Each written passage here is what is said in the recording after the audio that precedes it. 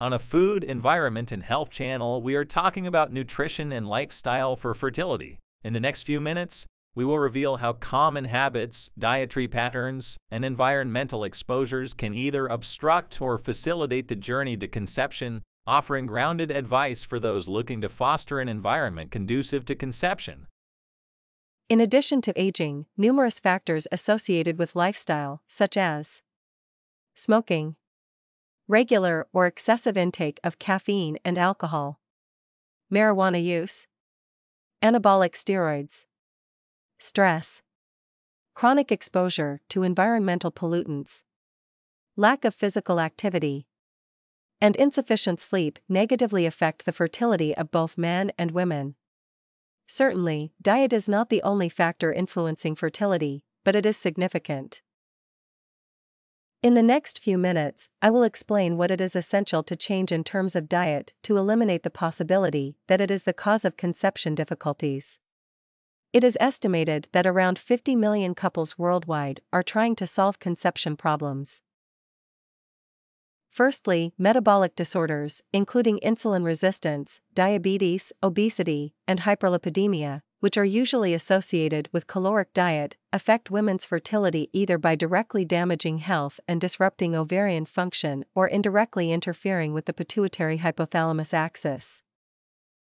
In individuals with insulin resistance, there is a reduced tissue sensitivity to insulin, which affects constantly high insulin in the blood, followed by the development of polycystic ovaries, today registered in more than 20% of women in the reproductive period.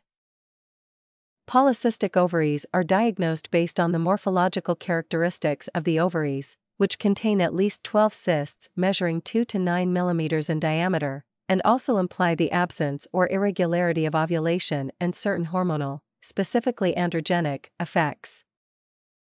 It is assumed that insulin effects increased testosterone secretion through receptors on the ovaries and through an enhanced ovarian response to the luteinizing hormone.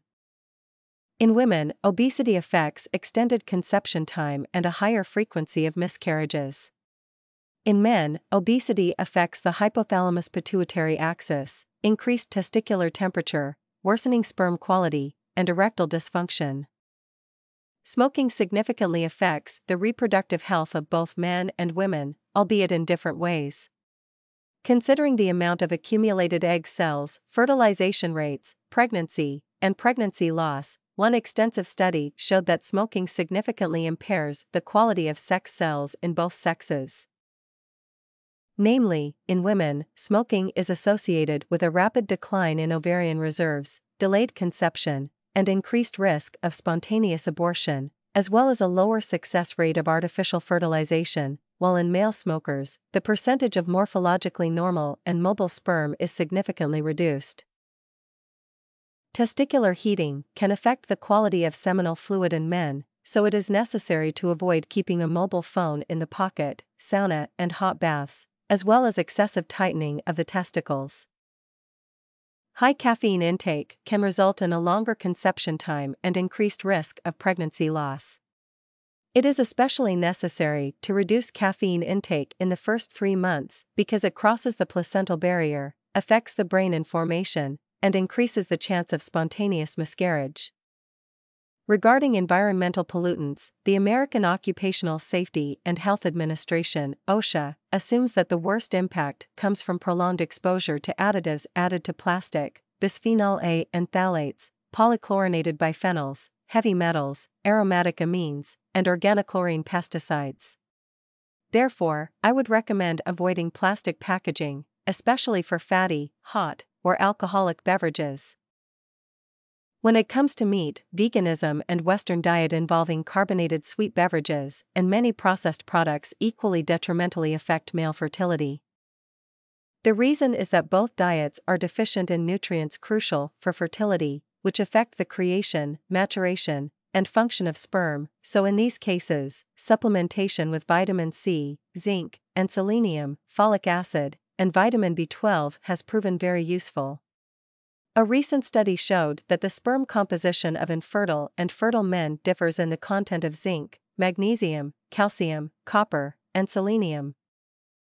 On the other hand, when it comes to oxidative stress as a factor of egg cell maturation, an appropriate intake of antioxidants can reduce the concentration of free radicals, resulting in the protection of oocyte maturation.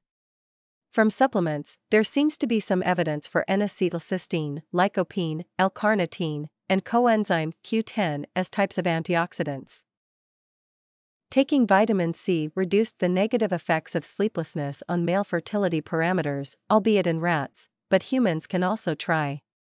However, in a study that dealt with the analysis of supplements for male infertility, it turned out that half of the 24 supplements for male fertility had no expected effect. Moreover, the supplements contained a total of 36 substances, of which 18 have no evidence in the literature, and 21 out of 24 supplements had ingredients in concentrations below the minimum effective dose. In other words, if you take them, take supplements from reliable manufacturers that contain the above mentioned substances N acetylcysteine, lycopene, L carnitine, and coenzyme Q10. While there are conflicting opinions about alcohol intake today, the intake of saturated fats, trans fats, and large amounts of simple sugars has been confirmed as harmful to fertility. The fact for sugar intake was confirmed in a study conducted on 18,500 women over eight years. On the other hand, in men, the intake of trans fatty acids was proportional to the reduction in the number of sperm, so avoiding margarine and all sweets containing it is of crucial importance for men. To summarize the research findings Consume food that does not rapidly raise blood sugar, with plenty of plant fibers. Regulate obesity because the treatment of obesity and a diet that will result in reduced insulin secretion is an effective, non pharmacological treatment for solving conception problems and it has been shown that a diet rich in fish, legumes, and non starchy vegetables, as well as supplementation with omega 3 fatty acids, increases by 40% the chances of conception in people who previously had a problem. Avoid puff pastry, fried products, and store bought cakes, and when it comes to fats, flax seeds, bluefish, nuts, and avocado represent sources of good fats that are important for fertility. Do not overdo the intake of animal products, but use supplements of zinc and B12 if you have been on a vegan diet for a long time. Of foods that are rich in antioxidants, we can recommend garlic as one of the foods that might drive potential partners away, but positively affects fertility. Another option is the intake of vitamin C through natural sources or through the smallest possible daily doses, for example, candies. Avoid plastic packaging, coffee, and cigarettes. And know that, when you give birth to a child, you have finished the easier part of the job. Thank you for your attention. If you liked this video, please click like, share, and subscribe buttons.